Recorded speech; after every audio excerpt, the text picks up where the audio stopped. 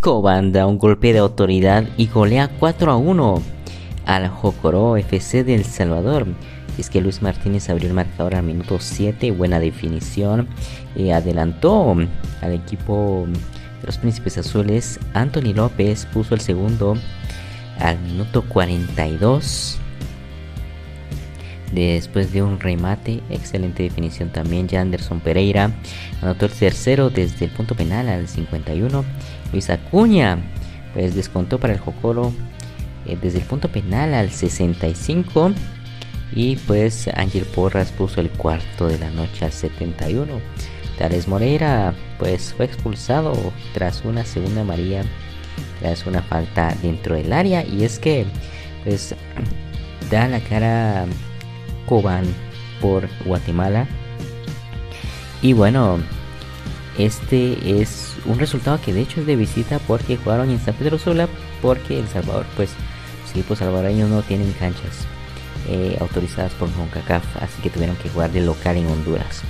Y luego Cobán recibirá la próxima semana a el eh, Club Deportivo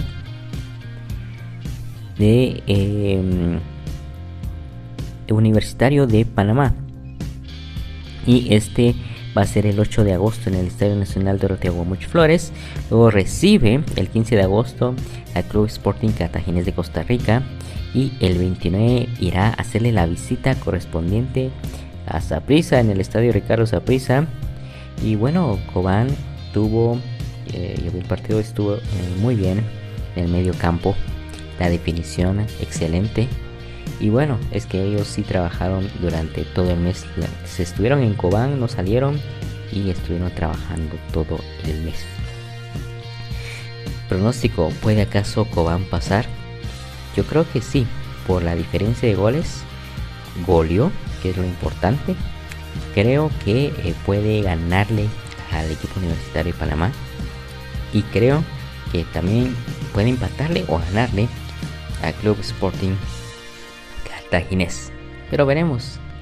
No sé qué le pasará con esa prisa, pero ya veremos qué pasa. Coméntanos qué te pareció todo esto. ¿Viste el partido? ¿Qué piensas de esta victoria de Cobán? Si te gustó el video, dale like y comparte y nos vemos en la próxima.